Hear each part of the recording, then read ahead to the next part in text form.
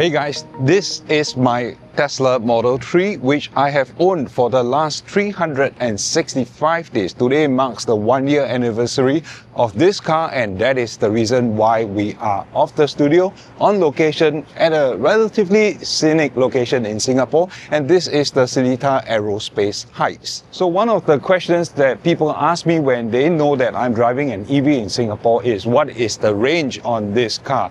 Now, Tesla advertises the Model 3 to go about 613 kilometers. I'm driving the Cat B model. I would say that 613 kilometers as advertised by Tesla is probably not very realistic. I'm a pretty mild driver and I would say that I'm able to at max extract about 440 kilometers of range from this car.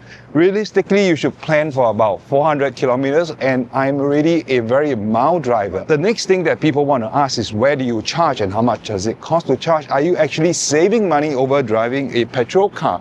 And I would say that it is possible to save money, but it really depends on your usage pattern and whether you have access to the Tesla destination charges, which are free to charge into your lifestyle. Otherwise, at the supercharger, you're paying 65 cents per kilowatt hour of charge. So to address that, let's get out of the slight drizzle on a Saturday morning and go to a supercharger where I will take you into details about how much it costs to charge before you decide to buy an EV in Singapore. So we have Waterway Point right in front of us. There's a Tesla supercharger station within this mall itself in the basement car park. So in general, most of the parking lots in Singapore, most of the car parks in Singapore will have EV charging lots unless it's a very old car park. Most of the HDB, the public housing car parks in Singapore will have some degree of charging, whether is it fast or slow charging. Slow charging is actually still more prevalent within Singapore, but right here we have the Tesla supercharger and we are driving right down into it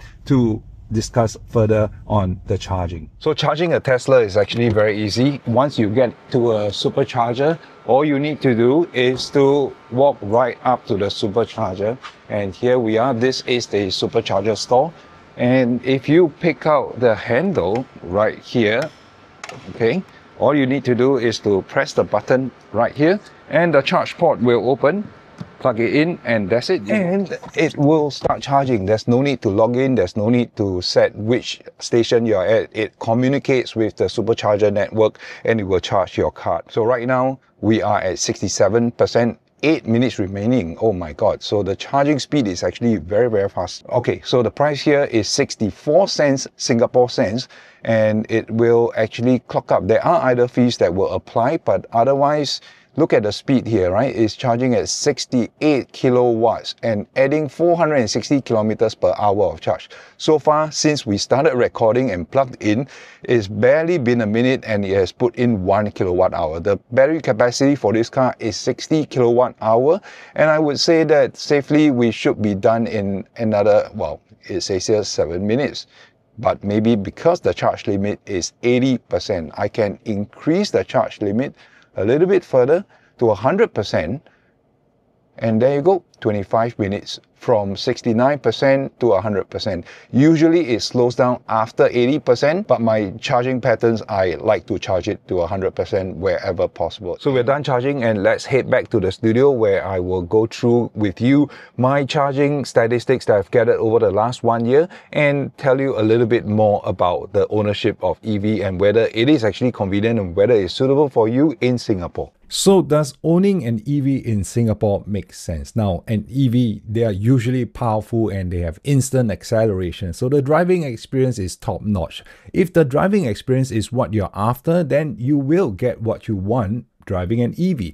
But if you are talking about savings, right, not having to pump petrol because petrol is expensive, and you're trying to convince your other half that moving to an EV will help you save money, then forget it because it is not going to help you save money. And let me go through that. Now, I've collected a whole year of data right here. Now, in the year of ownership that I've had the Tesla Model 3, I drove 15,000 kilometers. I would have charged 1,800 kilowatt hour. And based on my driving style, I would have spent 0.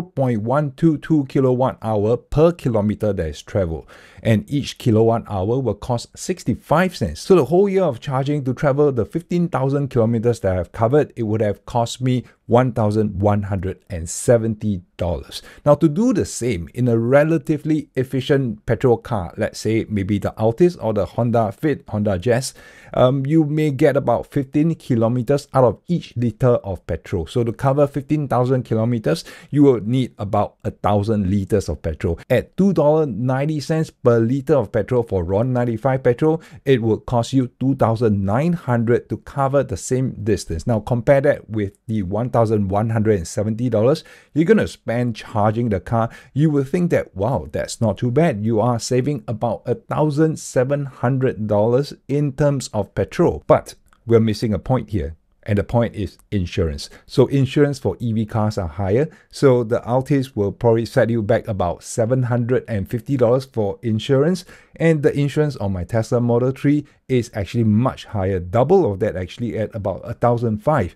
Road tax is also higher. So Singapore government charges road tax, additional road tax for EVs, and because the car is that powerful, the road tax annually is about $2,000. So the total of insurance and road tax is $3,500 for the Tesla Model 3. And if you add the Altis road tax and insurance together, annually it's going to cost you $1,500. So the additional cost of owning the EV is $2,000 more, $3,500 versus $1,500. So there are other savings, I'm very sure, right? Your brake pads, they don't wear out that much. There's less maintenance because there's no engine oil to change and all. The EVs will have its own problems later. What if your battery dies? What if your motor dies? Those things are expensive to replace. Unless, of course, it's covered by warranty, but your ICE car will also have its own warranty terms. So summary of this is that if you are out for money savings because you want to switch from petrol to EV and you don't have to pump petrol, which is expensive,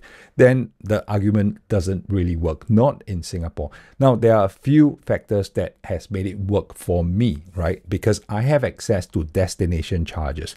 Tesla destination charges, they are free to use, right? But there are limited lots at limited locations around Singapore. Now, I happen to visit Millenia Walk quite a bit because there's a gym there, and I use the gym almost every weekday. So when I go to the gym and I spend that one, two hours in the gym and another hour for dinner, I actually can charge the car. And destination charges are slow charger. They're not superchargers. Superchargers, I've shown you, they charge very fast. Destination charger is very, very slow. It may take about five, six hours for a full charge. I don't have to charge full most of the time because I'm there at the gym every day. So when there's a lot, I'll charge it. If there are no lots, I'll wait. And my mileage is low enough that I don't have to charge the car on a daily basis or every other day, right? So based on my usage pattern, which is a low 15,000 kilometers per year, and the fact that I have access to free charging, it actually lowers the total cost of ownership. Now, another way that you can make this work for you is if you stay in landed property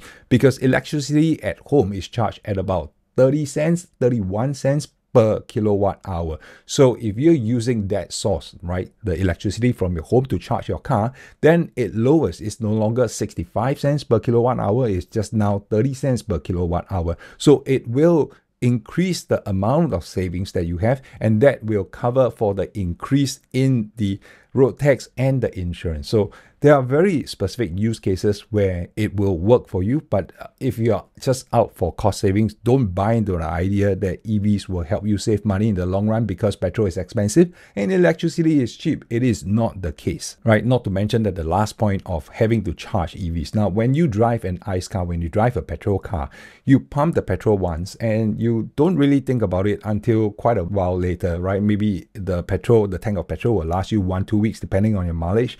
For me, I used to pump maybe once every three weeks in my older car. And I don't have to think much about it, right? Right now, every time I park, every time I drive my EV, I'm constantly having to monitor the percentage of charge, the state of charge. And I keep thinking about having to charge the car. And even when you're charging the car, you've got to think about whether it is going to hit the charge limit soon and you have to move the car, otherwise, you'll be charged idle fees. So, a lot of other factors involved. And if you are willing and able to do the mental gymnastics of having to handle that overhang of that, the burden of having to charge the car all the time, then sure, it will work for you. If you enjoy the car, yes, of course, an EV will work for you. But if you're just out for cost savings, don't buy into the idea, don't get tricked into it. So driving an EV is not for everybody. It really depends on your driving patterns, on your your habits, on your lifestyle, right? So it has worked for me. It may not work for you. So make a wise choice. I hope this video has helped you to some extent. So I'll see you in one of my other videos.